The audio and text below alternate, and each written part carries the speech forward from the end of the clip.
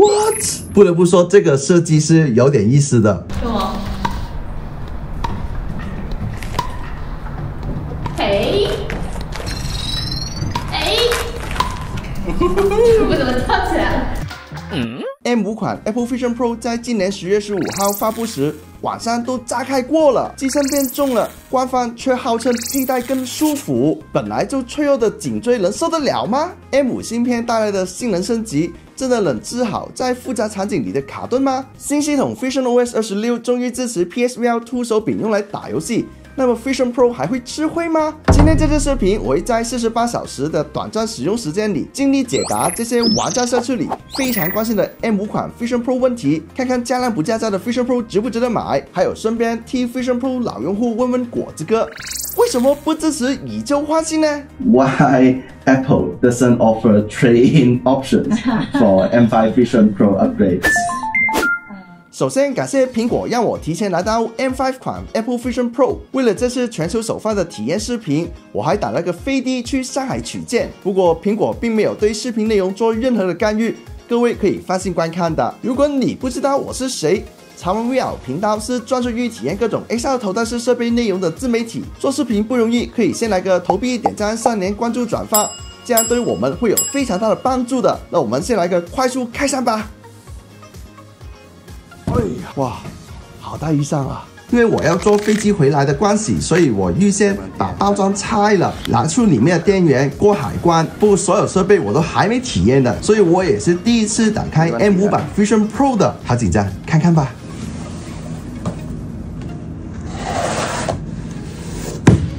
哦，朴实无华的包装，哇哇，还是挺重的。其实这样看的话，跟 M 二版的 Vision Pro 好像没有区别。这里就有写了 M 五芯片版五一二 G 的 Vision Pro，这个应该是唯一比较明显的标签吧。所以很多人说这是一个 Vision Pro 二代，呃，我觉得应该不是的，因为官方根本没有用上这个名字。直接来看一下，三二一。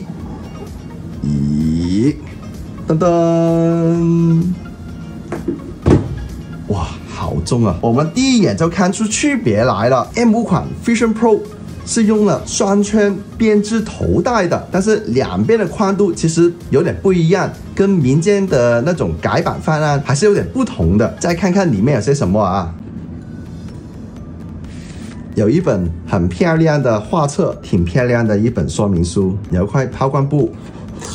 这个就是我在过海关时候拿出来的电源。如果你跟海关说这个是给 Vision Pro 专用的电源的话，一般都是可以放行的，不会说这个是充电宝拦住你。美版、国行都一样，有个 USB-C 电源线，四十瓦动态电源适配器，最高能支持到六十瓦，可能我们充电速度也比第一代会快一些。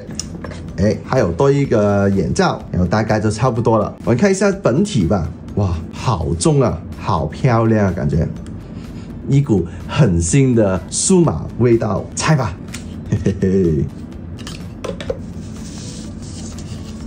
哦，摸上去这个后面已经感觉到那个重量了，因为 M 五款的 Fusion Pro 它后面是增加了钨金属配重的，这里也有一个小的按钮。它变成可以向下拉的，这样子，嘿，好清脆啊！这个做工还是一流啊，但重确实是重了很多。他说五十克，但我感觉，嗯，还是戴上头才知道吧。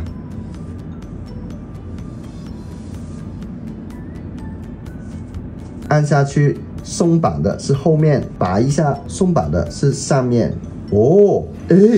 好神奇耶！确实没有那么压脸了，主要的压力都放到头顶上了。不得不说，这个设计是有点意思的。赶快把电源拆了，我要接上电源试试看。做工也一模一样的，电池的电压应该跟一代比是有区别的。我们可以后面再看看啊。然后还有这个电源线，咚咚。这么不环保，送充电器，Fusion Pro 才有的待遇。不知道这个东西在官网上卖是卖多少钱呢？好，我把这里清理一下，接上电源试试看。无论是下面这里还是下面苹果机这边，压力都没那么大了。开机的速度也快了。新机的时候我们是不可以用 Face ID 解锁的。哇，我这样看一下，感觉，哎呀，前面的头发没什么了，这好像没那么好看。哈哈找出双圈编织头带的舒适贴合度，哎，它是教我们怎样使用呢？让我这两天好好使用一下，再跟大家分享一下 M5 款 Fusion Pro 到底值不值得升级。The next day，这是 M5 款 Apple Fusion Pro 的小升级里，双圈编织头带绝对是最让我惊喜的。刚拿到手时还觉得有点沉，甚至有点嫌弃，可是，一戴上头，调好位置。之前的顾虑瞬间没了，刹上的头带有钨金属钉片配重，轻轻转一下调节钮就能把受力点分到上层头带，整个脑袋的承重比单圈头带好了不少，就连遮光胶都能调得稍微不贴脸，对颧骨和苹果肌的压力减轻了很多，佩戴时间能延长不少，戴久了头顶也不会压得很慌，而且 M2 款和 M5 款的配件能完全兼容，头戴蔡司光学插片。遮光胶这些都能通用。以前戴 M2 款 Vision Pro 半小时颧骨就要的疼，全靠自适应调节，还有半躺在懒人沙发上减负重。现在戴新头戴，脸不闷也不压，连续戴一小时都没有不适感。唯一的缺点就是稍微有点丑吧。老用户要是觉得 M2 款压脸，花七九九换个头戴是真的值。大家都说苹果 M5 芯片快。但我懒得看那些几何几线程的参数了，就按平时的实际用法来测试吧。像音乐、时钟、刹车这些常用的空间小组件，以前在 M2 款上堆多了就卡顿，现在我堆了一整面墙，操作还是丝滑的很。淘宝 Vision 的接红包雨是测新了的好场景，以前用 M2 款玩，两个碗明显不跟手，抢红包还一卡一卡的。换 M5 芯片后。手部追踪变流畅了，两个碗贴合双手，九十赫兹追踪确实有用哦。红包雨降落也升华了，第一轮轻松拿了七千八百分哦。对了，我去年还拿过全球第十亿的排名，大家拿到手也能挑战下我的分数哦。M5 款还多了一百二十赫兹刷新率，说直白点就是转头看东西不拖影了，比如用 Mac Virtual Display 打电脑投屏到 Vision Pro，以前 M2 款只有六十赫兹。转头时会模糊，现在 M5 款看着特别清楚，跟肉眼看差不多，不晃眼。不过要注意，一百二十赫兹主要提升虚拟画面，透视环境变化并不明显。毕竟处理透视的还是老款 R1 芯片，这点能理解的。基于提升百分之十的注视点双眼分辨率，原谅我的眼睛没那么敏锐了，我真的看不出来呀。我也测了一下续航，官方说常规使用二点五小时。看视频三个小时，实际体验下来，连续看电影三小时没问题，中间没出现掉电飞快的情况。平时看网页、玩游戏，能连续用二点五个小时左右。出门把电池放口袋里，撑半天应该没问题的，不用带着一个充电宝，充电速度也不错，从百分之一充到百分之一百。只要一小时二十四分钟，可惜不支持快充。不过对大部分场景来说，这个电量够了。真有续航焦虑的话，还能边充边用。打游戏其实对性能要求不低的。现在只要升级到 Vision OS 二十六，不管是 M2 款还是 M5 款 Vision Pro，都能官方支持索尼 PSVR2 手柄啦。原生支持 Six DoF 空间定位，还带震动反馈。不过视频截稿前。支持 VR 手柄的游戏还不多，目前做的最好的是皮克球游戏 Pico Pro 和川流 PCVR 的应用 ALVR。PSVR2 手柄的追踪特别稳定，不管什么姿势都没出现过掉追踪的情况。现在我们有了手柄，能实现更精细的操作了，震动反馈也让体验更真实。比如玩 Pico Pro 游戏里的球拍和现实手柄贴合度更高，击中球时候的震动感觉就像打真球一样。最绝的是能跟朋友联机，直接看到他的自影像跟我一起打球。以前在其他 VR 设备上玩，对方都靠着虚拟皮套像个 NPC 一样，而 Vision Pro 的自影像用了最新体积渲染技术，外表、眼神、表情、动作都跟本人超像，延时还特别低。明明我们两个在不同城市，却感觉像面对面打球。太神奇了！不过 Pico Pro 目前还没正式上在 App Store，等正式版上线，我肯定再做一期视频细聊的。所以说，在 Apple Vision Pro 上玩 VR 游戏真不是梦，就等开发者把现有的 VR 游戏移植到 Fusion OS 里啦。近期已经能看到开发者的积极动作，比如知名 VR 游戏 Hand Physics Lab 最近就下载了 Fusion OS App Store。希望更多 VR 大作能尽快适配吧。另外，部分 iPad 游戏在 Fusion Pro 上也能玩，性能还会提升，比如《明朝绝区零》能用上最新的光追技术。要是想玩 3A 主机大作，也能通过 Portal 无线连 PS5 或者 Xbox，或者用 Moonlight XL 连 PC 玩低延迟大作。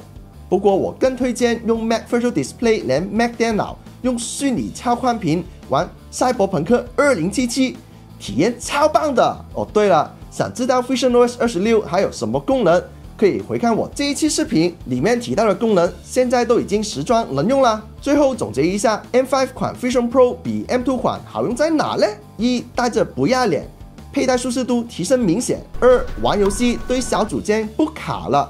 投屏 Mac Virtual Display 也更爽。三，续航涨了，能完整看完一整部电影。至于要不要买，要分情况说。如果你是老用户，觉得 M2 款卡顿，换 M5 款是可以考虑的。但如果主要用来看视频、刷网页，只是觉得压脸的话，那花七百九十九元换个三圈变质头戴更踏实一点。还省钱。其实我觉得 M5 款更适合开发者和 B 端客户的。开发者能把 M5 芯片的性能拉满，开发更高画质的应用。